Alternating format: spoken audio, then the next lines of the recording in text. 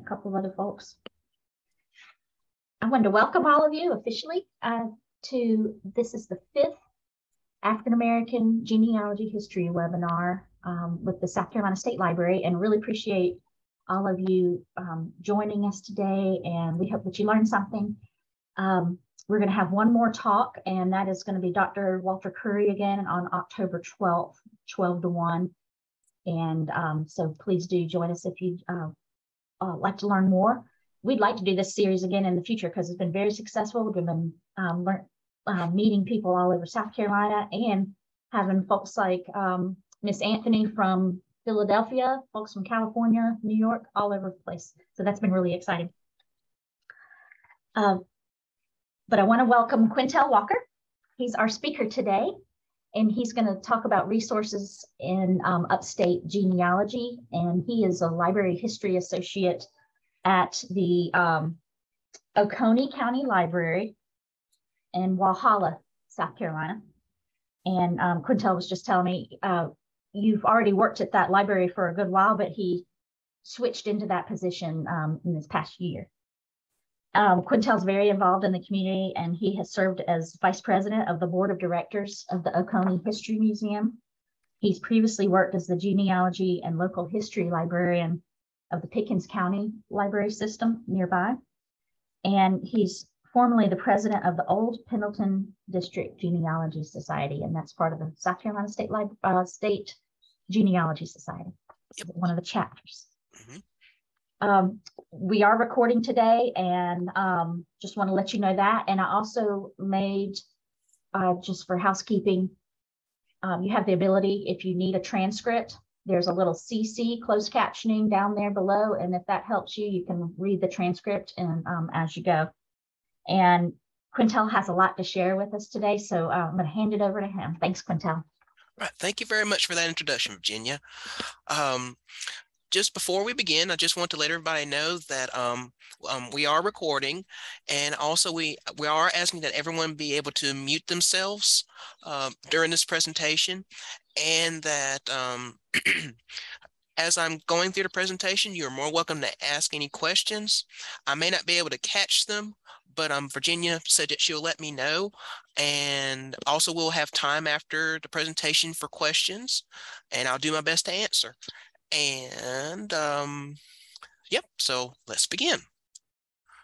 All right, so I'll share my screen. Uh, share. Okay. Can everyone see the screen okay? Yes, sir. All right, good. All right, so I call this presentation Follow the Trail. Now, um, there, when it comes to genealogy and family history, they are two separate things. Genealogy basically is the practice of tracing a line of descent from an ancestor. This is seen with connecting names of life events, um, such as, you know, births, marriages, deaths, place of residence, and other things. When it comes to family history, family history is more like adding more, um, I would say, muscle to the bone. Um, the details basically is that is taking the time to add details to the genealogical record.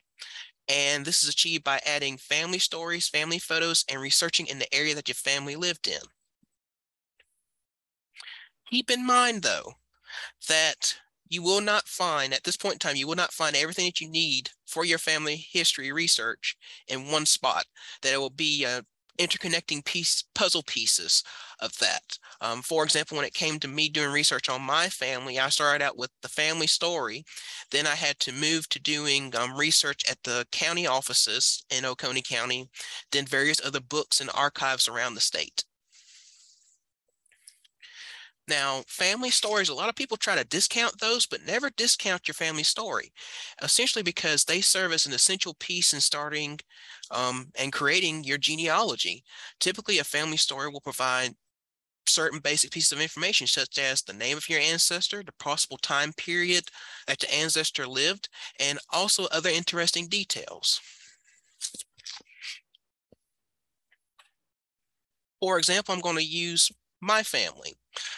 The person who we derived the surname Walker from is Clark Walker. He was a, a slave in the this area, and he lived from about the 1840s and died somewhere within the 1910s. And that's about all I really know about him. The stories are is that Clark was a slave of a man by the name of Master Sheeler. At least that's what was always called. And his name actually was uh, Joseph Ryland Sheeler, and he came from Virginia and settled in the area. Another story with Clark is that Clark changed his surname to Walker. Um, we do not know what the original surname was. We, in doing some genealogy research, we kind of speculate now that possibly the surname could have been originally Benson and then changed to Walker, but we're still not 100% sure. And another story is, is that after the Civil War, Master Sheeler um, was broke, flat broke, and that he was unable to pay people that worked for him. However, Mr. Sheeler owned a lot of land, an extensive amount of land in Oconee County. And his land, if you're familiar with the area in Oconee County, um, he lived in what's now the Fair Play area. And he owned a huge swath of that of that area. And so the story is is that the people that work for him, he paid them not in money but in land. And in our case, Clark did receive land from Mr. Sheeler. And then the last story about Clark is that Clark and Mr. Sheeler's son, Warren, were very close. So close, in fact, that Clark named his son Warren. And Warren is my great grandfather. And that name Warren carried from my great grandfather to my uncle Warren, who passed a few years ago.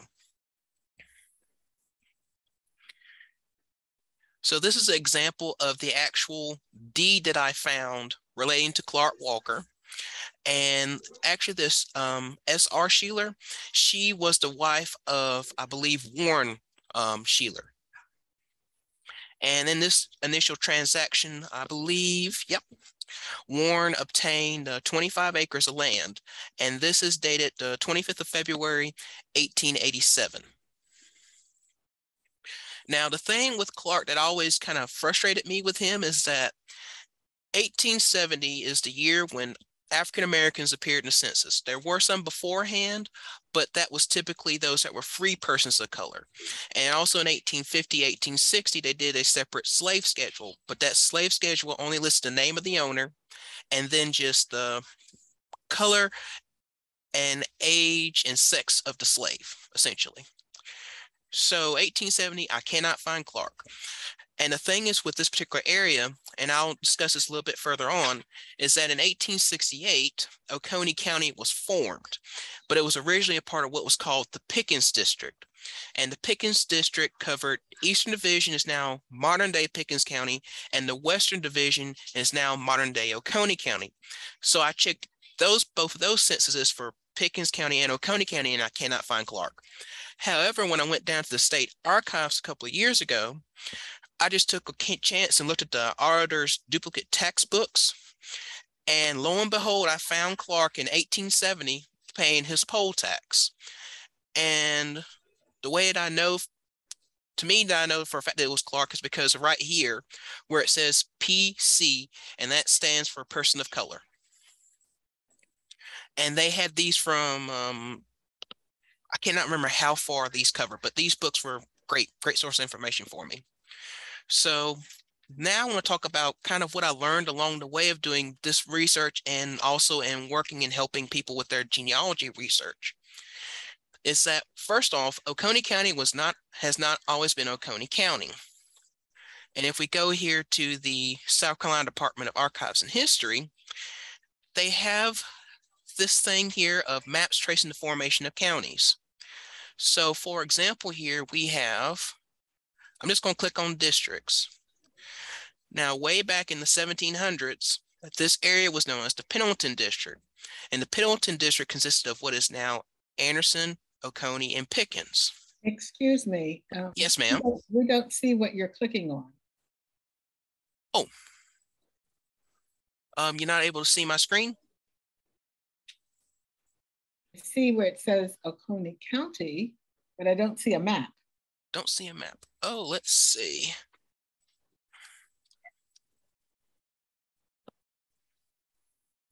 Oh, you still not seeing the district's map? Okay. Okay, let me get back. Try unsharing and then resharing. Yeah, that's what I'm gonna do. Thank you. Uh, okay, can you see it now? Yes. Okay, you're welcome. I'm sorry about that. I'm still getting used to doing these Zoom things. This is my first time doing one. Not a problem. Okay, so here we go. So here's the Pendleton District, and it's made up of what is now Anderson, Oconee, and Pickens. So I'm going to take and switch out and go back to my presentation. Here we go. Okay, so so there's that, and essentially with um, this area in particular, is that um, I'll just give you a timeline of, of events. Uh, back prehistory to about 1769, this was Cherokee Indian Territory. Then from about 1769 to 1799, we were known as the 96th District, which essentially stretched from about Columbia area, mid part of state up to now this area. And then for a brief period from about 1791 to about 1800, we had this thing called the Washington District. You pretty much you blink and you miss it. And it was made up of Greenville, Anderson, Oconee, and Pickens. Then you had the Pendleton District, which I mentioned earlier. Then that devolved to become the Pickens District. And then finally, we have Oconee County. So essentially, your family could have been in Oconee County since the beginning. But the records for your relatives could be either in Charleston, Columbia down at State Archives, in Greenville County, Anderson County, Pickens County, and then Oconee County. So it makes this area a little bit tricky to um, research. You also learn that fire and sticky fingers are not your friend. Mhm. Um, there are several places where I've tried to find information and found out that there was a fire, or I went someplace and tried to look in a particular book, and the book had the pages torn out because someone years ago decided to tear out the pages for themselves. So stuff like that happens. Mistakes are set up for a comeback. And I say this because when I first started doing my genealogy, I made the mistake of when I was writing down my female relatives, I did not use their surnames. I used their married name. And uh, genealogist looked at all my work and she said, No, you need to go back and fix that. And I said, Yes, ma'am. And I understood why after she explained it to me. So, yeah, mistakes make you upset, but they're always a great starting point for a comeback. And always expect the unexpected. Again, in my case, I never thought I was going to be able to find Clark in anything stating that he was here in the 1870s. But lo and behold, just taking a wild guess and looking at a particular roll of microfilm, I found him. So now here are some state records of interest. One of them is the um, 1868 voter registration book. This series contains records with the name and race of each registered male voter. And let me click on that and give me one second to share it. Mm, mm, mm. That is it. Okay, can everyone see it okay? Okay, so this is from the South Carolina Digital Library. And click on Browse. And what I'm going to do is set this up for title descending. And here is Oconee County. And this is a pretty much a list of all the registered voters in the area. And where my family is from is known as the Center Township. And even though this is a fantastic resource, like it has it divided by the different races, names, and it's very pretty. It's a pretty document. And, but Clark wasn't in here either. So I was very frustrated, but I still keep in mind with this. Right, back to the PowerPoint. Okay. Now you also have um, birth records. Now South Carolina as a whole did not start doing birth records as a whole until 1915. And the birth records for South Carolina, like I said, start 1915. However, recently, well, fairly recently in the genealogy world, the state has started releasing birth records that are 100 years old from what I have seen. So currently you can access 1915 to 1921 from the South Carolina Department of Archives. And you can also access um, the birth records from 1915 to 1919 on Ancestry.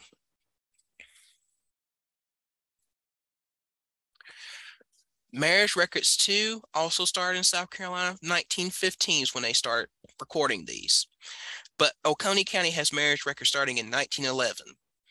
And you can either come up here to Oconee and go to probate court and view those records, or if you're down at the state archives, they have copies of the marriage um, records from 1911 to 1950 on microfilm there.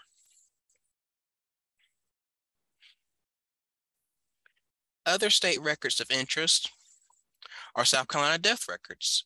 Again, the records started in 1915. However, when you look at Ancestry, it does state the 1800s. I cannot remember the exact date, but their starting date of the 1800s. But that was because different areas in South Carolina did their own thing. So a lot of those records are from Charleston, and I believe also there are some from Spartanburg County. So death records in South Carolina are released every 50 years and can be accessed from Ancestry, from Family Search, and then there's also certain libraries that actually purchase the microfilm from the state archives.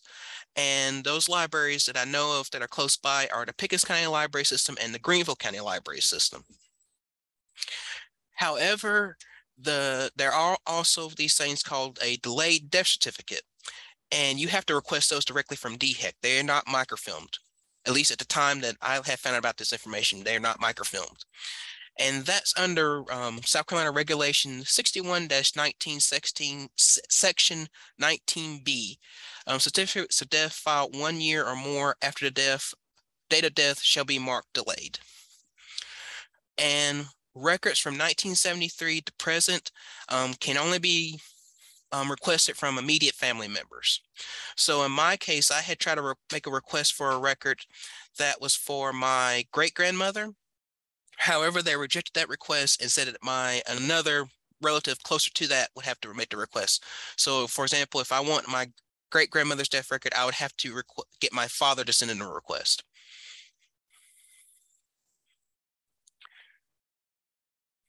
Now, divorce records. South Carolina does have divorce records, um, but for the longest time, South Carolina did not have divorce. And it wasn't until 1872 that it was made legal, but it was only legal until 1878. And then divorce was suspended in 1878, and then a state constitutional amendment was made in 1898 that basically prohibited divorce. Divorce was not permitted in South Carolina again until it was amended in 1849 and only permitted divorce on grounds of adultery, desertion, physical cruelty, and habitual drunkenness. And uh, to obtain a copy of a divorce decree, you would have to contact the clerk of court in the county where the divorce was filed. And the whole thing that got me started on this was because, and I had forgot to put this in my um, um, sources, but in this volume of the South Carolina Historical Magazine, it's a little bit hard to see. Uh, this is the January 1997 issue. There was an article written by Janet Hudson that talks about the history of divorce in South Carolina. Okay, now we're going to talk about some of the specific Oconee County records. Um, before I go any further, are there any other questions that anybody has before I move on? Uh, yes, this is Gwen Anthony. Um, yes, ma'am. You mentioned delayed death certificates. What about delayed birth certificates? That I do not know, to be honest with you. That's something I haven't had a chance to research. Okay, thank you. You're welcome. But I am, I'm, you know, I definitely can double check to see if there is a delayed birth certificates. Yeah. Um, if you make sure to leave your name or email in the chat, and I'll work on that and I'll get back with you. Thank you so much for that question.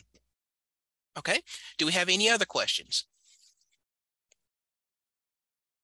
Okay, moving on.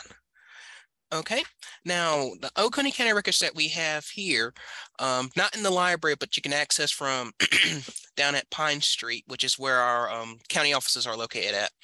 Um, we have the Register of Deeds, mortgages and plats from about 1868. Again, that's when Oconee County formed, but you might can find some records that are a bit earlier than that, but not entirely too sure to present.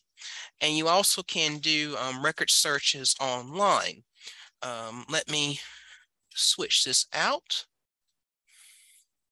do, do, here we go. Okay, can everyone see this registered deed search box? Okay, so I'm going to search this right quick for my grandfather who is deceased. So here we have different records. And if you see this plus sign here, that means you actually can view the document. So there we go. And what I love about this is that I actually get to see his signature, which is not on this one. But that's his mother, Mariah Walker. That was his mother. Pacoya was his sister. And then Lulu um, Williams is also his sister.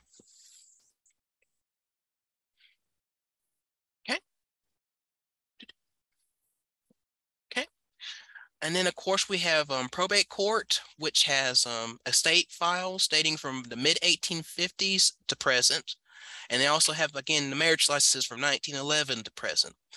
Um, one thing I did find when I was doing my personal research is that I was trying to find a particular will for Mr. Sheeler. And the will was recorded in the probate court's office, but the will was missing. And the clerk at the time told me that during that particular time period when he died, he died in the late 1800s, was that the will would be recorded at the probate office, but then the lawyer would take it back to his office, and that's where it was at. And so I do not know where his will is. So maybe one day I'll find it, maybe I won't. Who knows? And then again, like I had mentioned earlier, if you're trying to find records for Oconee County before 1868, again, it's going to be in either Pickens, Greenville, Anderson, Oconee, I mean, not Oconee, uh, Charleston, and that type of thing. Now, the Pacific collections that we have here at the uh, Walhalla Library, this is where the uh, Anne Rogers Memorial um, room is located at. Um, we have a map collection of an assortment of photocopied and actual maps covering the colonial period to about the 1970s. Um, again, like I had mentioned, that this area was known as the Cherokee Territory, but we did have a, a British um, fort here called Fort Prince George. And if you're familiar with this area, there's a we have Duke Energy here, and it's located somewhere around in that area, and it's currently under underwater when they made the lakes. So we have some stuff about that, that, that particular period, and then up to again like the 1970s. Um, in this area, we did have the lakes constructed, um, Lake Keowee and Hartwell in Oconee County, and then Lake Jocassee over in Pickens County. And so we have some maps that detail that area before the lakes came in, and then some maps about after the lakes.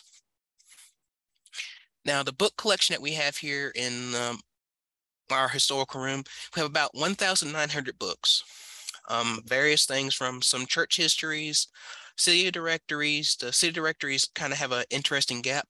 We have some there, like I believe it's in the 70s, and then it jumps to the 2000s, late 90s, 2000s. And then, of course, we have our family history books. And just this is an example of some of the things that we have that deal particularly with African American um, interests. We have the Flat Rock Baptist Church 100th anniversary program. Um, we have the uh, centennial celebration of the Sunday School and BTU convention. Um, and this Seneca River Missionary Baptist Association is still going strong. And then we have another centennial yearbook about the Missionary Baptist Association. What's interesting about these two works is that this one um, has my great aunt, a picture of my great aunt in it. And this one mentions one of my uncles who's still alive and kicking and everything and that stuff of that nature. This book here is about Blue Ridge High School, and that was the African American school in Oconee County. And then this book here is called The Sizemore Family of Pickens, South Carolina. This particular book I found out when I worked over in the Pickens County Library System at the Easley Library. And this book is one of the few books that I know of that's actually an African American genealogy that's in the public library collection. I think it's the only one that we have here in Oconee. And what's special about this family is that this family, I cannot find a slave ancestor. They show up actually in the 1850 census, the 1860 census, and so forth. And the reason why Oconee has a copy of it, because the man who wrote this book, I believe uh, his name was Samuel, I believe Malone. He had his family started out in Pickens County, but then they move. Uh, one family member moved to Oconee County, another one moved to Gaffney. So that's how we ended up with our copy. And then another book that I forgot to take a photo of is that Seneca had a um, college for African Americans known as the Seneca Institute, Seneca College. And this is this book right here. And actually, I did have um, my great aunts, um, my grandfather's um, sisters attended. And one of them in particular, Pecolia, um, she was the one who obtained her um, teaching educate, uh, education, and she became a teacher in the area. Now, this is what is Oconee is known for. If you're in the genealogy community, um, we have this massive newspaper index, massive. And the picture for this presentation, there's a picture of the, I took a picture of the car catalog, and that's a whole wall just of card index files. Now, originally, the in the newspaper index started out with just the Keowee Courier, which was one of the oldest papers in South Carolina until it ceased publication a couple of years ago. Started in 1849, I believe. And it was indexed by a local historical society and, and covered up to about the 1970s. Then it was later donated to the library. Mrs. Ann Rogers was a library volunteer and she dedicated thousands upon thousands of hours indexing these newspapers. And I believe, from what I can figure, is that she further increased the coverage because originally it started out with just the Keowee Courier, but we had multiple other papers in the area at the time. And what makes this index especially fascinating is that she covered births, marriages, deaths, divorces, marriage licenses, and anniversaries, and it covers from 1849 to 2010s. Also, this record also includes all the African American entries that can be found. And on April 14, 2016, the South Carolina Room was formally named in her honor. Um, she passed the year before, back in 2015. Okay, so this is what the newspaper index covers. We have the Keowee Courier, and the reason why I have these little tildes in here is because the newspaper has gaps in it. And so we just basically just do the start and do the end. So have the Keowee Courier. Now the Keowee Courier you can access online. You can access through the historical newspapers of South Carolina or through Chronicling America, which Virginia was very instrumental in having done. And then also you can access it on newspapers.com, but it only covers 1849 to 1922. And originally the reason why it stopped at 1922, because when Chronicling America got kicked off and started in Virginia, you can correct me on this, is that that was when public domain ended. It was 1922, that's where it ended, and then everything else was under copyright still. And Chronicling America has been updating and adding more stuff, but when it comes to certain South Carolina newspapers, it's not been a whole lot with the Keowee Couriers, things like that done.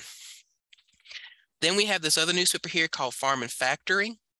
That initially covered the Seneca area, and it was later bought out by the what's now the Seneca Journal. Then we had the Tugaloo Tribune, which covered mainly the Westminster area. And again, it was later bought up by the Seneca Journal. Then we have the Seneca Journal, and the Westminster News. And these you can only access through microfilm. You can either access them here at Oconee County, or you can access them down in Columbia at the South Carolina Library. And I believe maybe Clemson University may have some copies. So basically, if you have a name of a relative or you're trying to find, you can give us a call, send me an email, and I can check that index and see if they're in the index. And nine times out of 10, if they're in there, then we actually can find the actual article that we're looking for. Of course, there are some because it's human created, you know, there's human errors and mistakes. Sometimes they have the right date, but the wrong newspaper or the wrong date in the right newspaper. So I still will take a search around to make sure. This is an example of one of the drawers. As you can see, the drawers vary from being either halfway full or this one is totally packed from end to end. Now, the reason why I had an asterisk by African American is because all of African American entries are listed as Negro. So that's just how it was just done at that time. And Ms. Rogers still kept that going, you know, even until she finished. And this person, for example, is um, Joseph Alonzo uh, Benson. He's one of my relatives on the Benson line. And he actually died in New York and uh, is buried here in South Carolina. And one story my dad told me about him, because I had never heard of this person until I had started doing some genealogy. Because when I started doing the genealogy myself, I started learning these different names and different people I had never heard of. And my father said that he Joseph would come down from New York to visit during the summer, I believe it was, and he would pay them five dollars cash money to wash his car. And my dad said they just loved him for that because um a lot of people know that five dollars could buy you a whole lot of candy and sodas back then. So they just loved him to death. Now also, Mrs. Rogers did a cemetery index and it's very detailed. And also, she did all the African American churches and cemeteries as well. And um, in the 2000s, a man by the name of Paul, Paul Kankula, his friend Gary Flynn, and a group of other volunteers also did cemetery uh, surveys of Oconee County as well. So Oconee um, is interesting in that we have technically three um, cemetery indexes. We have a cemetery book that was done back in the 1980s, but for some reason they omitted all the African American churches and cemeteries in that particular book. So then you have Miss Rogers who taken did her index that covered all the African American churches cemeteries. And now you have um, Paul Kankula's, which was done back in the 2000s. And let me just show you it right quick.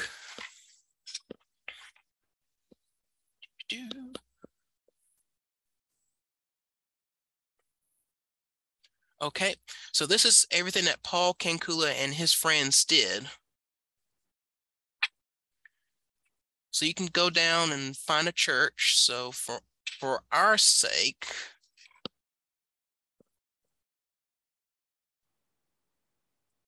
ah, St. Paul. Let's see. Nope, that's not going to help me. Let's see. Fair Play. Do, do, do. do. Sorry if I'm making anybody sick with looking, scrolling through this, because sometimes it makes me a little nauseous. Here we go. This is St. Paul Baptist Church. And it's located about in Fair Play area. And this is the family church for my for the Walker line. And if we go down,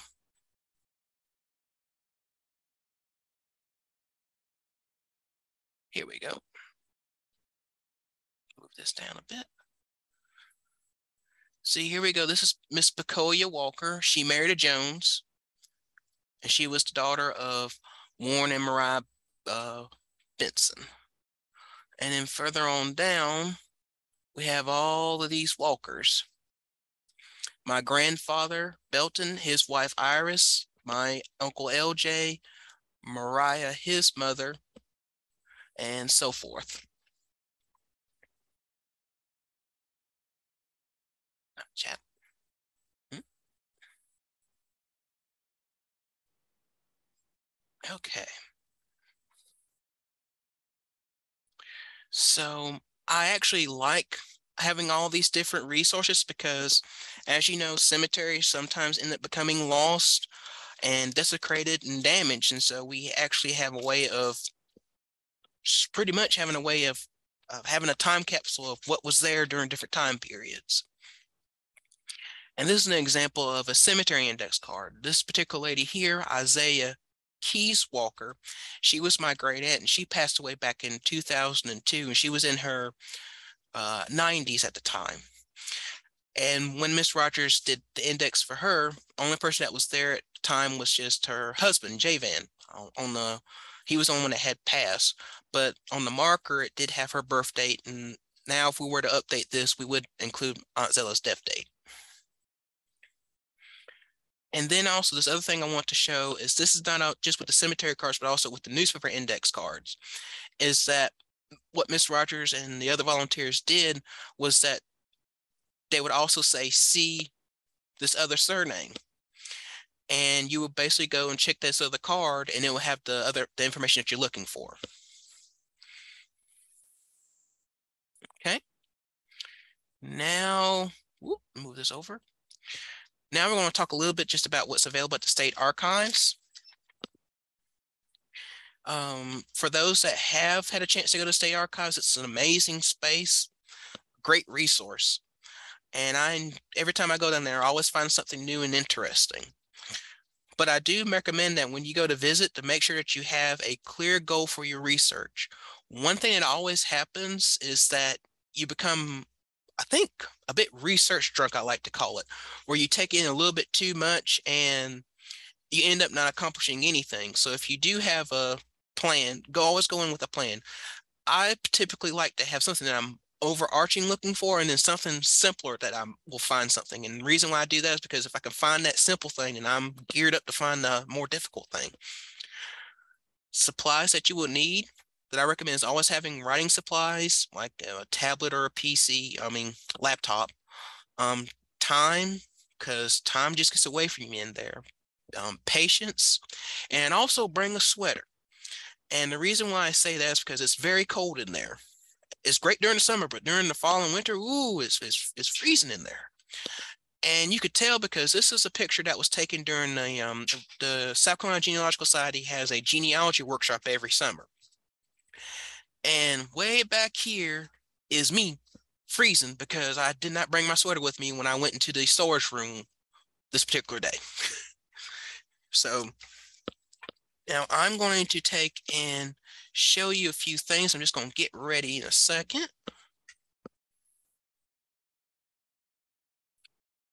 All righty. So the state archives has, like I said, a lot of different things. So one thing that they have is a listing of their digital records. And where did it say that? Here we go. This is a list of the things that they have that um, you can access. And this is specifically stuff for Oconee County. So we have um, register and means and conveyances, basically the deed books, and they cover from about 1868 to 1926. And if you scroll on down, this is what they have for probate records. And this is where I found the things about the ARDA tax book, duplicate tax book. So they cover from 1868 to 1930. Okay, now, whoops, that's the wrong thing. Close that, close that, close that. Okay, can everyone see this page? Okay, just want to make sure. All right, now Archive has been working on digitizing their collection. And so you can take and do a search for a person's name, uh, for example, and this is again uh, Joseph Sheeler. And these are different records that they have on him that have been digitized. And if there's an image, you can click on that and you can pull the image up. Here is um, Sally Sheeler. Um, she was the wife of Warren Sheeler, and this is her applying for a widow's pension for the Civil War. Uh, yeah. Um, the story is with um, Warren was after the war, he came back in very poor health and moved over to Anderson County. And I remember when I was trying to do initial research on them is that he came back over to visit over in Seneca fell in front of the local hotel and then died not too long after that. Okay, now here's another thing from their archives. This is a summary of their collection holdings. So I like to come down here and just check things out. So they have state records and then local records and then county records and some municipal. And then you can click here and just go to the particular county that you want. So let's say, for example, I want to see if they had anything on Pendleton District. Click on the P's. They do have a few things. And so if I go down to the state archives, this is what I'll actually be able to see. And let you know if it's on microfilm or if it's actual physical documents. Okay.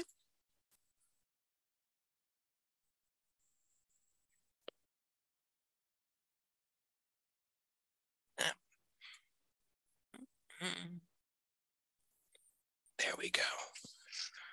Okay, now back to this. All right. Um, whenever you're going anywhere to do research, be it a library or archives, always keep records of how and what you discovered. You'll thank yourself later on because um about that. Now, thankfully, I learned my lesson before this ever happened, but I have been told several genealogy nightmares where one person has think she has well over a thousand some odd names in her records. And now she has to go back and try to find the sources to actually document everything that she found. And she's been doing the research for well over 30, 40 years. And yeah, so always make sure to take notes, document, and everything. And then also, I suggest if you go down to the state archives, make a trip of it. Um, spend time at the archives and then take and go visit Virginia down at the state library.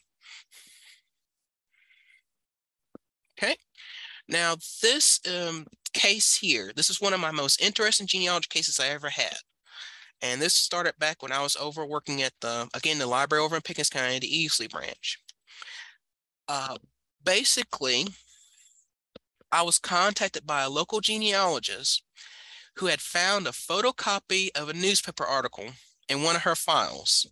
And it was of this lady named uh, Mrs. India Williams. And sometimes when you see her name, her name is spelled like the country or as it's here uh, on the screen. And like I said, found this in the article and um, there was no name of the paper, no date, nothing. And just her name and just want to try to find the article. Now, the genealogist did provide me with a list of census records that Miss Williams showed up in, and that was it. But it stopped after like the 19, uh, I think teens is when it stopped. And I was trying to figure out, well, why is that?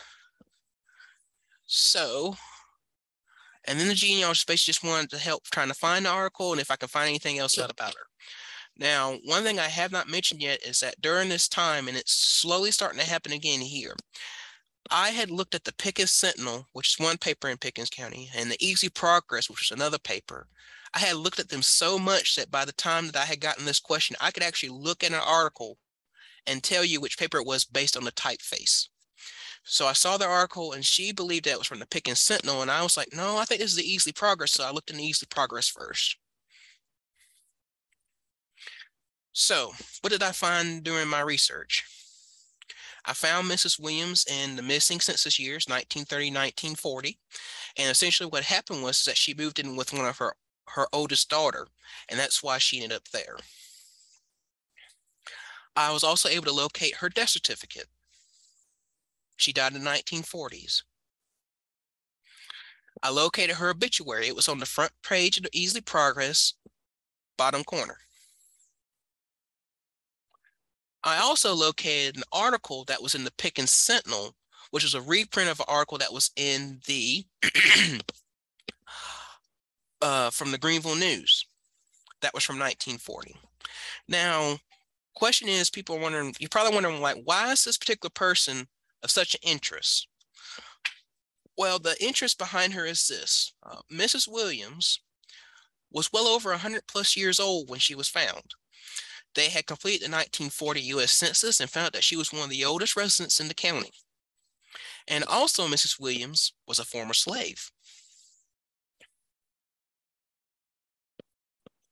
So, and I will, and you'll see a photo of her in just a moment.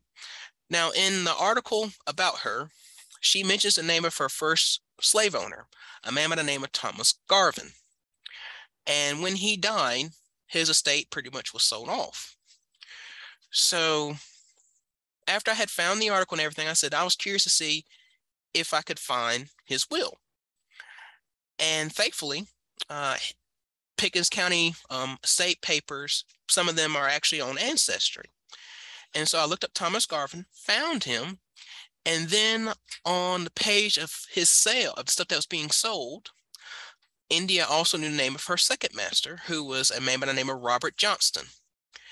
And you can see here a Robert Johnston purchasing one Negro girl, India, for 1,000, looks like $1,380. My jaw hit the floor when I saw this because I had never in my life thought I would ever find the actual documentation of a person being a slave. Because all I have ever had, especially in my family, is just the stories that link me us to slavery. But this is actual proof of her being sold to another person.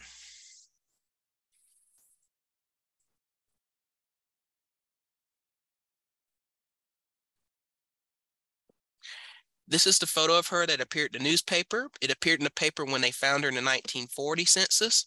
And this was a picture that was also used for her obituary. And over here is the article that had appeared in the Pickens Sentinel.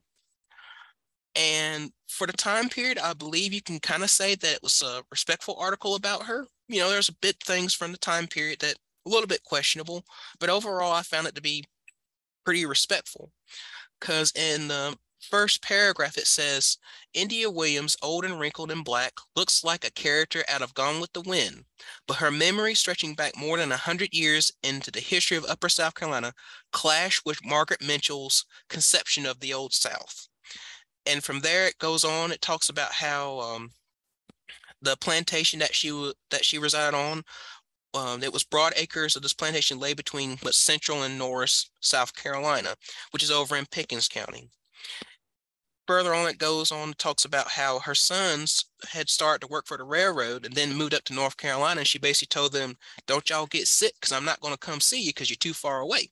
She pretty much stayed just within the area. She did live over in Anderson County for a brief period of time, but then she moved back to Pickens County where she remained and then died. Um, one thing she mentioned about the war, Civil War in particular, is that she said there was no war fighting around where I lived, but there was plenty of private fighting. And then what I found to be interesting is that uh, close to the last paragraph, it says, the years have brought dignity to India Williams. Today she was a respected member of her community, and since the census has brought her attention outside of Easley as one of the oldest persons in the state, gifts such as Mother's Day, uh, Mother's Day box of candy from a white club have started coming to her. And in the very end, she just basically said that I've worked hard, and since I've been free, I ain't ever been without bread. I've just trusted in the Lord, she said. So to me, this was just my my my big big find. Um, along with outside of Clark, it was like one of my biggest finds. And to this day, I always think about on this one and say, you know, if I try a little harder, if I dig a little deeper, I might can find more information. And um, it's pretty much is what drives me, drives me a lot, this story. So pretty much we have reached the end of our presentation. Um, I have all these resources that I use. I, like I said, always document everything except for the divorce thing that I forgot to mention in my note, my um, resources, but everything else, everything. When you come to see me, you're going to leave with a photocopy of the title page of your book, the back of that title page, and then you, if you come here leading newspaper articles, you're not going to leave without the name of the newspaper and the date and the page number. And the way the index is set up, it also tells you the column. So you get the column listing as well. And here's some other resources. And this is information about from the library. Now I'm just going to go briefly to our web page right quick.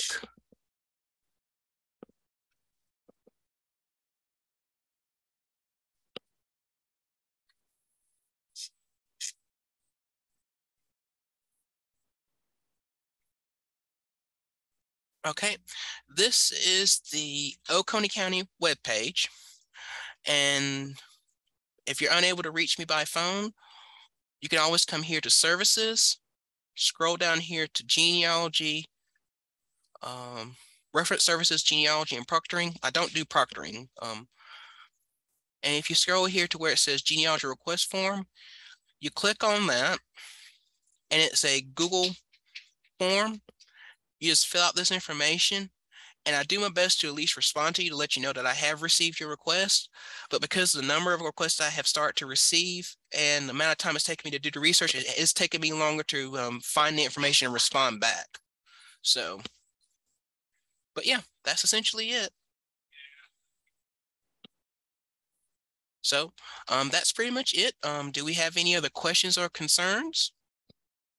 We do. Um, Quientell, that was fantastic. Thank you. You're welcome. And uh, a couple of you asked questions. Now feel welcome to unmute yourself if you want to ask question verbally, but I'd be glad to read out um, uh, a couple of these and hopefully I'm not missing anybody. Okay, I see your Quientell. request. Quientell, Yes, ma'am. it's Regina Vaughn from Philadelphia. Um, excellent presentation and glad to see some young person doing this research. Oh, Yeah. thank thank you very much. Um, that that's what one people people have said to me is that oh you're so young you why you, it's amazing that you're interested in this and this is the way I view history. Um, there was an article some years ago and it was talking about the Kennedy assassination, and it said that the Kennedy assassination is moving away from memory into history, and essentially it says that the people that actually remember that event uh, are passing on and it's going into the history books. When I think about the civil rights era, before desegregation and everything, people normally look at books. I look at my parents. My parents lived through that. And I want to do my best to try to record their experiences and pass those along to the next generation as best I can. And it's not just me. The Oconee History Museum, which the director, her name is Leslie Haggerty White, and her assistant curator is Jennifer Moss. They are both very diligent, diligently trying to increase the knowledge of African American history in Oconee County. And then our friends over at the Seneca area museums, in particular the Bertha Strickland Museum and the Lunney Museum, uh, that's Shelby Henderson and Nick Movini, they're working on trying to increase the knowledge of African American experience in Oconee County. So yeah, so we're very big on this, and I'm very big on it myself. Well, good, good. I was just wondering, I'm in Philadelphia. Yes, ma'am. And um, I need, I need somebody to go to Greenwood County Courthouse. So I was wondering, do you do any work like that? I do not, but from what I can remember, if you contact the Greenville, the Greenwood Library directly, they may be able to put you in contact with someone that can do that for you Okay. because they Okay, have I'll a. try they- that. That's why yeah. I keep asking. Don't you know somebody? Because Yes, you know, ma'am. I got to pay to fly down there, so it's not like I'm asking anybody to do this for free. Sir, oh yes, I ma'am. I have understand. question. Yes, sir. There's, there's a, uh, the person that just asked the question, go to Robin Robin book. Uh, she got a lot, did a lot of research from Greenwood, South Carolina. All right, can you put her name in the chat? Okay, yeah, she just finished her book and, and she got, and she got a lot of relative in Greenwood. Well, that's why, thank you, Mr. Bryan. That's why the not that his presentation wasn't excellent, but Yes, that's the main reason why I got on there. I got to Yeah. find somebody that can go to these archives for me. Well, try some of her books and some, some of her research. She have done a lot of research. Yeah, But but, but I, uh, yeah. But, and, but like uh, I s- but like I said, I definitely would contact the Greenville Greenville Library. They have um, a historical room, a very nice historical room down there. at can you put that in the chat since somebody else might be listening? Or Virginia, can you put that in the chat for him? Yeah. I'm Sure, um, the chat. Was that a list of the archives or No, he said Greenwood. Greenwood? I can put the Greenwood Public Library in there. Yes, ma'am. Is that what you're talking about, Quientell? Yes, ma'am. Okay. Yeah, because thanks for for leaving the chat open because you can save the chat with these resources. Okay. Here is a link to the Greenwood County Library, and this should take you directly to their research. Would you put the link for the Sumter County Library in there as well? Thank you. Yes, ma'am. I can give me that in a quick moment. Sumter County Library. Quientell, you're faster than me. I'm trying to keep up with you. Well, both of you are probably faster than me, okay? Oh, that's right. And That's so many people asking started in South Carolina. You search Greenwood, you might end up in Greenwood, Indiana. And so you have to put SC in there. Thank you. And anytime I put Fairfield, it comes up Connecticut. Okay, I just put sure I just put a link for the Sumter County Library. Yes, I see that. And I also see Mr. Bryan's um, link as well. Thank you. You're welcome.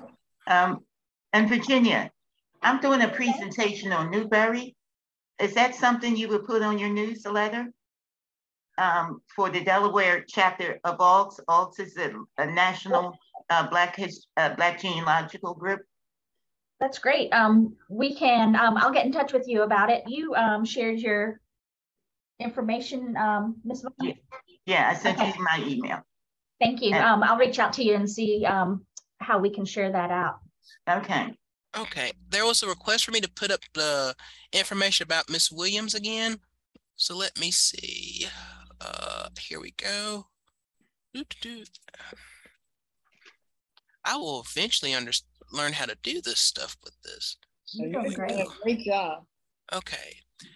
don't worry, Quientell, we senior citizens learn. okay, so here are the resources I had for Miss India Williams. Um, basically, this is what I was found in the newspaper besides what you can find about um, Thomas Garvin. There was a question about her saying if she had any siblings. That part I didn't research, to be honest with you. I'm not sure if she had any siblings. I do know that in her obituary it says, let's see.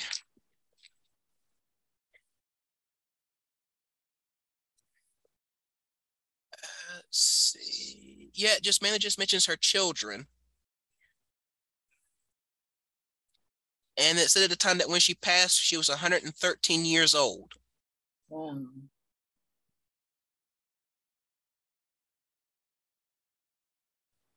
Um, Mr. Wilson had a couple of great questions. Let me pull up closer to where his question was. Let's see. He said, uh, did you find records of your family members who lived in Oconee County at one time, but then moved to other counties in South Carolina? If so, uh, what were the counties they moved to? I know you mentioned Anderson, which is nearby. I do know that some of my relatives moved over to Anderson County. And the only way I've been able to do it myself is through a name and then looking at the census record. Again, like, like I said, when I first started doing this genealogy stuff, the reason why I got interested in genealogy was when I was at the Pickens County Library System, I was uh, voluntold to be a member of a board. And the board was something called the Reunion of Country Families. And it was an event that was held at Southern Wesleyan University where they, it was basically like a genealogy swap meet. They would have these different people representing different families and um, to come and people from all over would come over and just uh, listen to them talk and they had different speakers. And this particular year, they decided to do the Reconstruction period as their theme. And mind you, I was still in my, yeah, I was still in my mid 20s. So I was the youngest person at the table and the only African American at the table. And I happened to open my mouth and said, "Oh, well, my great great grandfather got this land, and uh, and then my great grandfather added to this land, like this land that Clark had originally obtained. Somewhere or another, my great grandfather, I believe, added to it, so that we have over close to 200 acres of land in the Walker family, and that land is still within the family to this day. It's basically passed down from generation to generation. So, for example, my father has a share of the land and when he passes, that land will be given to me and my sister to divide. And when we pass, should we not have any children, then that land just gets redistributed among all the other living relatives. So I opened my mouth and said this, and then they said, Well, you need to talk about that. And at that time, I did not do public speaking. I refused to do it. I said, Well, I'll contact an uncle. And the uncle um, said was willing to do it, but he said, You have to help me with the research. So that's when I started doing all this work. And then my dad mentions some names. And one of the names he mentioned, he said, Well, can you find anything on Mexico? I said, The country? He said, No. That's a that's your aunt. I said, You mean to tell me I had a relative named Mexico? He said, Yeah, she was Benson. I said, I I just laughed at my dad and said, no way, no way, no way. Look in the census, there she is with her family, Mexico Benson. And she moved over to Anderson County and uh, she was a school teacher there. And then I had a couple of relatives that have gone up to New York. And I, again, I haven't done too much research with that, but hopefully I'll be able to find them in census records and then newspaper articles and stuff like that. So I, I think I got a little bit off topic on that on the question. Um, mm-hmm. but yeah, I um, but yeah, the way I've tried to find relatives is basically through um, names, uh, the census record, and then I try to find newspaper articles and other things to try to verify where they moved to. And sometimes you get lucky and hit the nail on the head, and other times you just have to work work around it until you can find it. And okay. I'll just add that searching in Ancestry people transcribe it and they may not have seen the word Mexico. They may have said, spelled it a different way. And so then um, you may think they're not in there. So it takes a little bit of looking and doing around the other pages. Mm-hmm. It's something that we do for people um, looking up. Oh, yes. Um, thanks for that. Uh, Mr. Wilson asked another question. Uh, he said, thank you for mentioning the 1868 voter registration.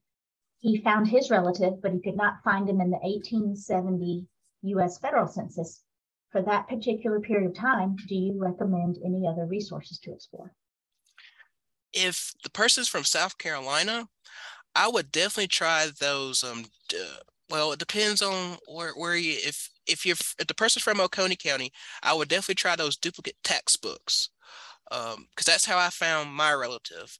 But with other people, I would just have to try to figure it out something myself and see if I could figure out an answer for a different county. Because sometimes I would but I would definitely check the state archives and see if they have something along those lines of particular county records. And um, it may not be 1870s, uh, but pardon me, somebody talk. Uh, yeah, that the person just spoke. What county was that? Yeah, um, which county was was that about asking about the relative that didn't show up in 1870? Mr. Wilson, are you still there?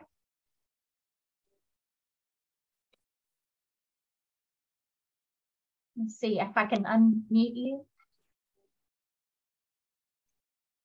I don't know if he's mentioned it. Um, we can come back if he's.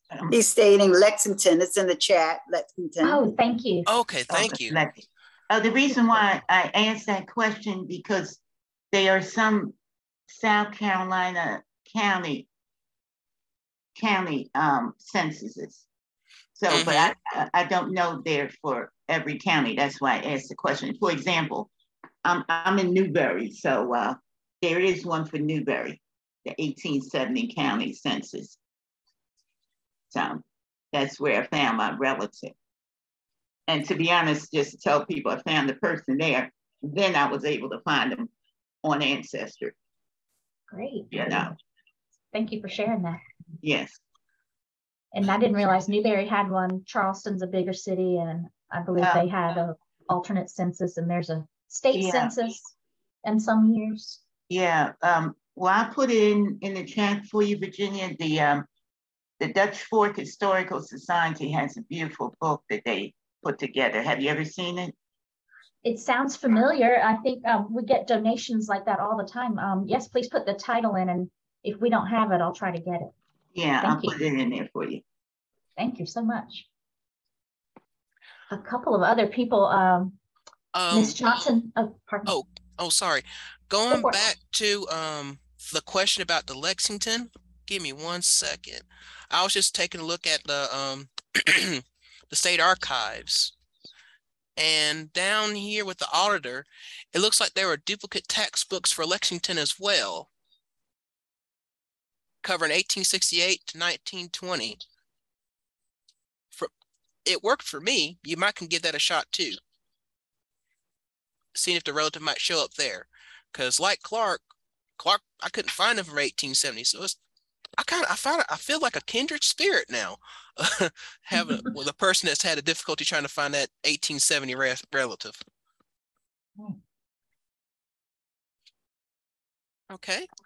Appreciate y'all leaving so much good feedback and questions in here. I'm trying to make sure I don't miss. Um, oh, and let me put in my email address. Uh, Catherine and Cynthia at the Laurens Library here, could we mention one resource that we have? Please do. Thanks for asking, but um, always just jump in on our talks. yes. Hi. Um, don't know if you can see us, but we both been working at the Laurens Library since dirt. we know a whole lot, but, uh, but and, and one thing, uh, I think Washington District did cover Laurens County too. hmm Yeah, I caught that. But uh, we have a nice lady named Robin Coon, and she's been doing all of these cemetery books. I don't know if you can see it. Yes, ma'am. She has done all of these herself, and she not only has the cemetery information, she has obituaries, she has death certificates, she has the church programs in there. She has every bit of information that she can find on these people. And we've got over 50 of these. Some of the churches are up to like three volumes. Right. But um, I don't know how many churches, I, I didn't think to do that before I, uh, we started listening to your um, webinar, but uh, it's just a wealth of information there. If, and it's all of Laurens County. She does skip over a little bit to Greenville County and probably Newberry.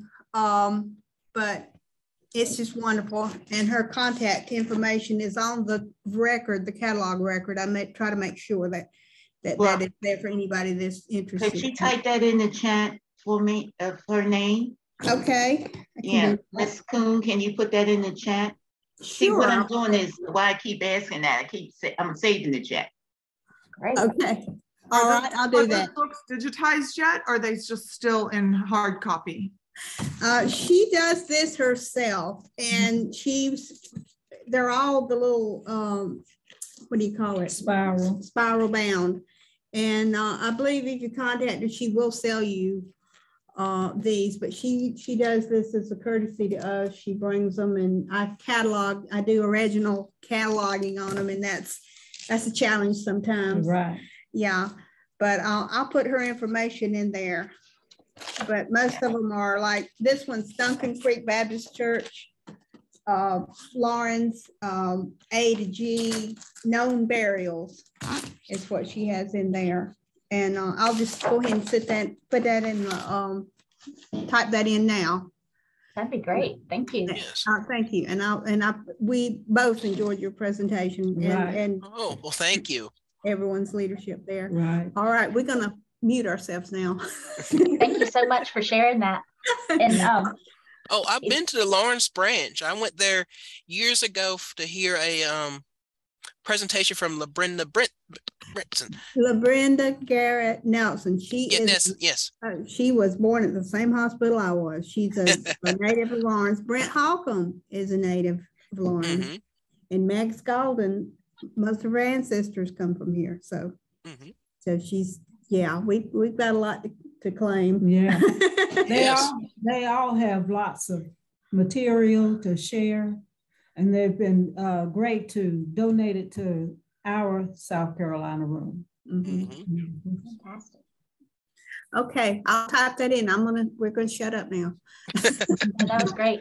A lot of genealogists are very generous with their research and um, we always appreciate that. And if you ever know of a, you know, copies, State Library would love to have copies of um, these types of records. We're trying to build up local histories. It's the perfect thing to share with somebody. you know. I know one thing I'm looking for for this area is that I'm I would love to have more um family histories.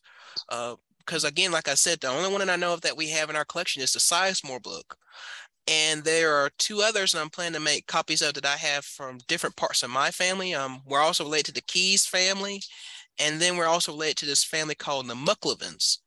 And um, I don't know too much about them, but they did some books a couple years ago, so I want to try to get copies of those made to put in our collection so we can have them here at the library. Great. Has any um, DNA helped in, in your research? I actually have tried the DNA, and unfortunately, the only thing I know about DNA is that it stands for the deoxyribose nucleic acid. Because when I try to look at the results, it just goes straight above my head.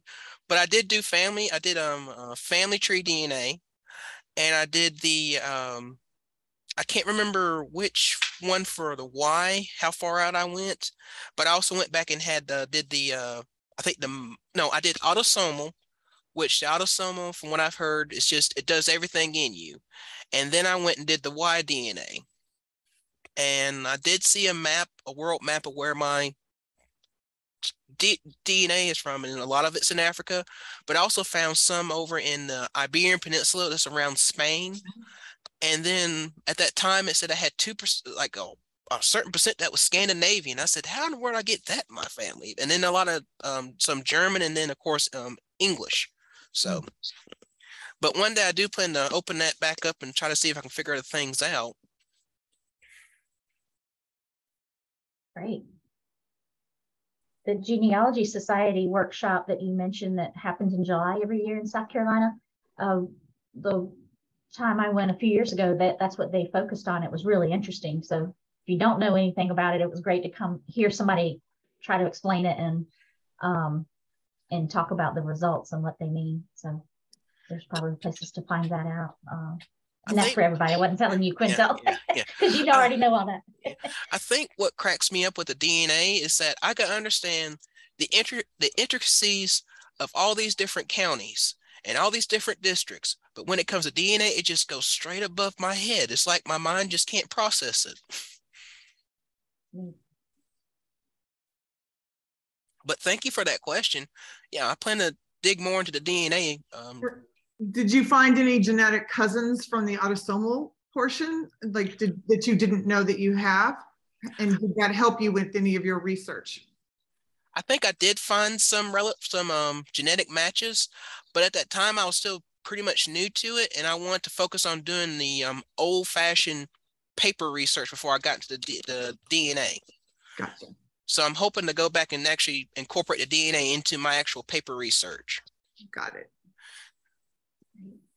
Uh, Mr. Bryant, thanks for sharing Robin Foster's um, new book. And she was one of our speakers just a couple of months ago. She did a great mm-hmm. job.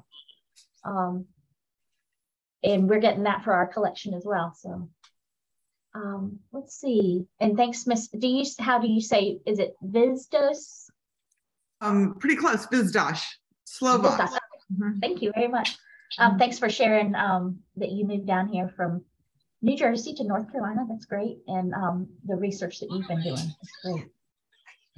Um, so reach out anytime. I know we're neighbors now. And um, if you um, have any questions, we can get you in contact with different librarians and archivists around here too. And that goes for everybody. You're asking about different libraries and stuff. So um, some of us have contacts and know each other that would be glad to share, share the library or the person. So. While it's on my mind, because I see that um, Ms. Vizdos, you're with them, the DAR, it looks like. Yeah. Um, I want to mention that South Carolina is taking part in what's called the 250th anniversary for the American Revolution. It's going to cover several different years from about the time of the early battles to about the time when the Treaty of Paris was signed. And Oconee County, like it's a statewide initiative, each county is doing different things, and Oconee County is taking part in that. So you um, may want to contact your local library system to see if they're taking part in it. Because I know that well, the thing with Oconee is that we didn't have a whole lot happen up here battle wise. We did have a couple skirmishes here and there, but a lot of our history comes pretty much after the revolution. Um, uh, one of the things that I mentioned in there that I, I, was asked to join the specialty research group is to help find undiscovered patriots. And um, there is, you know, all backgrounds and all ethnicities that contributed to America's freedom. And that's one of the things that um, I've been working on for the last four years and now working with Ray Shirani, who's working under Dr. Gates. Um, I was asked to join her team and um, it, it's it took everyone to to win the battle. And that is and i believe down in the south it's it's very hard to um, find patriots or people who contributed to the to the cause whether it be in battle or in patriotic service. So that's one thing that um, i'm interested in learning about. And i know that clemson has started um, a program and, and research on the the people that were enslaved on the on the property and the land there. So it's a very interesting and very um, all-encompassing project to learn Mhm. everyone's history. And so you you've provided great resources here today. Oh, yes. Thank you. Yeah. Yeah, I, one thing I like to say and um, is that it was at my mother's knee that I first learned about genealogy. And a lot of people, well, a lot of resources omit not just African Americans, but they also omit women as well. And that's something I want to try to work work hard on too, is making sure that we have good representation of the women that contributed to history and genealogy as well. So just want to put that out there. Um, Virginia, Yes, ma'am. um, I wanted to go back to Laurens County and they mentioned LaBrenda Garrett's book. Do you have that in your um, library? Oh yes. That looks real familiar. Um, let me make Yes. sure. You said LaBrenda Garrett's? Yes, the people from Laurens County mention it. What Yes, is, yes, she's yes, an attorney resource. Turned genealogist and Yes, it's very professional. And since Laurens County, anybody's doing this South Carolina work, place, particularly upcountry knows how the county boundaries um, um, change. So Laurens County is next to Newberry.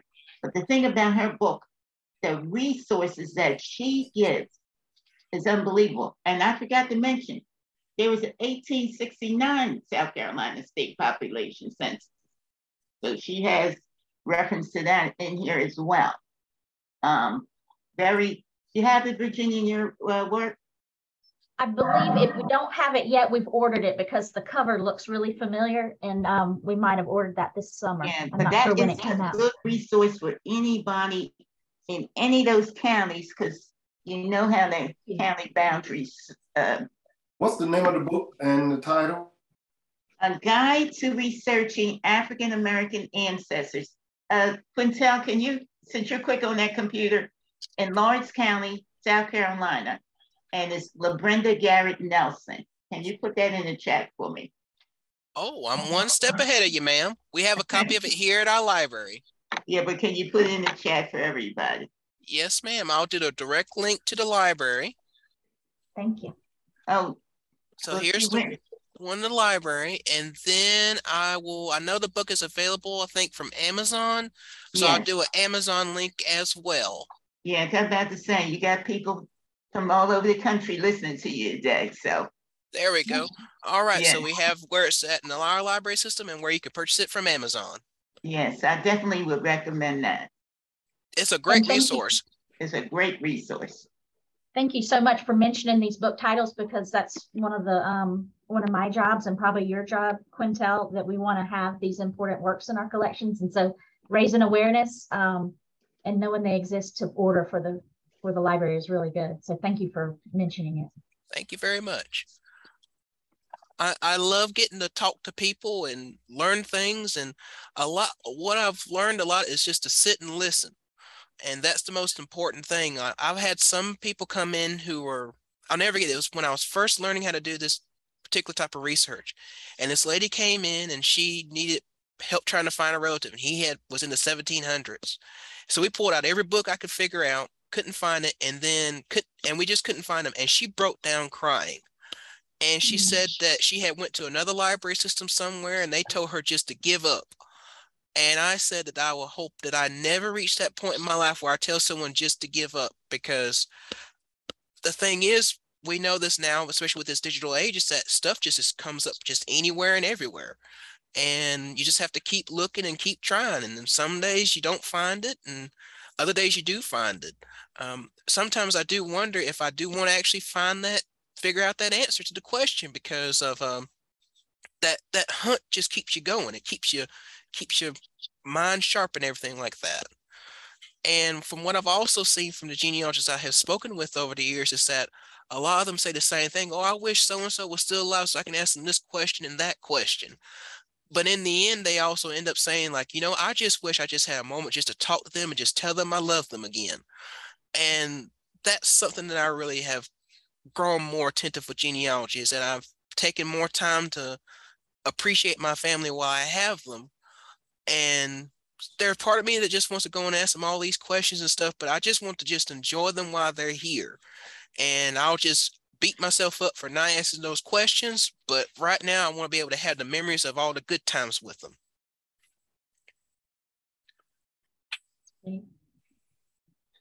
Well, we just have a couple more minutes, and I know we've gone over um, um, all y'all's time is so valuable. Um, thanks for leaving all this great feedback because uh, I'll just go quickly through. Um, Mr. Bryant, thanks for saying you've done extensive research on the Sandpit community, and that's a small community in Georgetown. I've heard of them. It's great. I hope you found some good things. Um, uh, Laura from Schaefer Memorial Library, thank you very much. I appreciate that. And um, let's see, Miss Vaughn, Newberry County Agents and Census. See. Miss Johnson wrote, can you put the info for the article about divorce in the chat? Um, I did upload the slides. Um, Quientell, would that, that the slides have that information or? No, they do not. Give me one second. I have to type it out. South Carolina Historical Magazine. Thank you. Uh, January 1997. And then it's by, it's a long title, but so I'll Mm-hmm. just put just, um, it starts off with, um, from the Constitution. From Constitution, dot, dot, dot.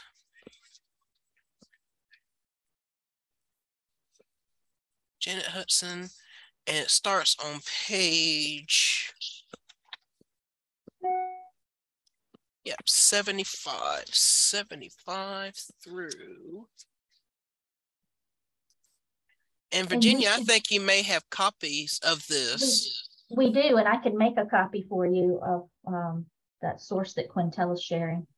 We have the South Carolina Genealogy and History magazine. It goes way back. Um, Ms. Stiles wrote, DNA has been extremely beneficial to my research. This is how we're able to determine our ancestors from Williamsburg County, South Carolina. The DNA matches were most helpful. Ancestry has the most people, so they produce the most DNA relatives. That's great. I'm glad to hear that. And um, Miss Anthony said, Quientell, you are an inspiration. Thank you. That's really sweet. you Thank are. you very much. Um, we I will have- be. mhm. I have one more question um, with the libraries and the archives. Do any of you, or has anybody developed genealogy programs for children or for young adults to inspire and encourage them to do research? There's this thing called Ask Granny. Mhm. and it was some program that was started um, not in South Carolina. It was another person had created this thing called Ask Granny, where it gets uh, it's like a genealogy thing where you, you have young people and they can interview their grandmothers, or you can take it to where they can go interview people at um, assisted living nursing home facilities. But I haven't done anything myself. Um, I remember one time a long time ago, I did a presentation for the Boy Scouts. Um, and that was because they wanted to get their genealogy merit badge. And from what I can remember from that, the thing that fascinated them the most was the microfilm because they had never seen it before didn't even know it existed until I pulled out a roll and just showed them what it was. And it was like, oh, that's interesting. And I think I just sadly bored them the rest of the time. And then a couple of years ago, um, the assistant branch manager, she did a children's genealogy program. So that's one group that I want to try to work with, but I'm just not sure the best way to doing it. Okay, thank I you. also found that Family Search has programs for um, children and young adults. Okay. And also, oh, if you look at, um, I forgot now the name of the conference that they have in the winter of each year.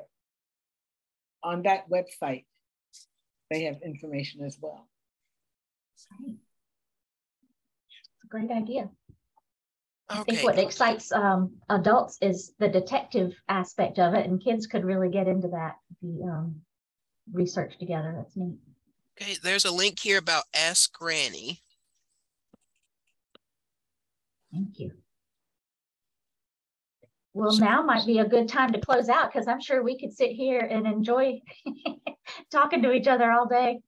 Um, thank you so much, Quientell. This was fantastic. Everything about it. I, um, I'm so glad that you were willing to let us record it because uh, we'll put it on our State Library YouTube page, and I can also share it out to all of you um, since you registered for the, the program. Uh, I'm going to stick around just another minute, and I'm going to save the, the transcript and the chat. And um, um, and just say thanks for coming today. I really appreciate it. Follow up with both of us. We Mm-hmm. have a staff here at State Library that um, wants to be able to help you. We we can't do all of your research for you, but we can definitely get you started and give you tips and tell you what we have and um, and look into our resources. And if you're far away, we can make some copies of what we have in our in our collections and send them to you. Yep, And we do like- that for free. So, And like, and with Virginia, I like to piggyback on what she said. Is that same here in Oconee? Like Oconee, I'm I'm essentially the only person that does the local history genealogy stuff. But um, my first job before I became a librarian was worked. I worked for Belk. Well, some people might remember it as Gallant Belk or Belk Simpson, and we worked in a very small store. And our philosophy was, we may not have what you have come in for, but we're going to provide you with the best service that we can, and we'll help you find what you can. And I still am very strong and believe in that philosophy. I may not have the resources that you need, but by golly, I'm going to help you as best I can, and I'm going to point you in as best a direction that I can. that's wonderful. So again, thank you all so much for coming, and uh, I wish you all success. Great job. It was lovely to see all of your faces today. Thank you for turning your videos on. It's really important to connect with you. And um, please follow up. And we're going to have one more talk in October, October 12th. And I'd love to see you there too. What's October 12th? We're going to have the last of this African American genealogy series. How about I send you a link? I'll send it out to everybody and see if you're Okay. interested. All Thank you right. very much. Thank Y'all you. have a wonderful day. Bye-bye. Bye. Thanks, Quientell. Great You're job. welcome. Thank Did an you. excellent job. Thank you. Thank you. Thank you. like that. All right.